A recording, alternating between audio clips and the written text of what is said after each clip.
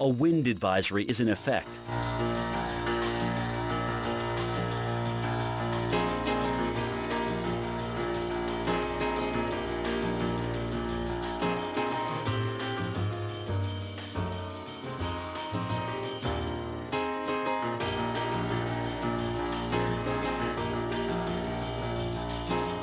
Today, some lingering morning flurries or snow showers. Partly cloudy, windy. High 32. Winds west at 20 to 30 miles per hour.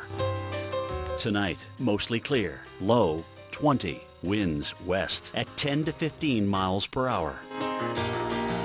Tuesday, mostly sunny skies. High 32. Here's our seven day outlook.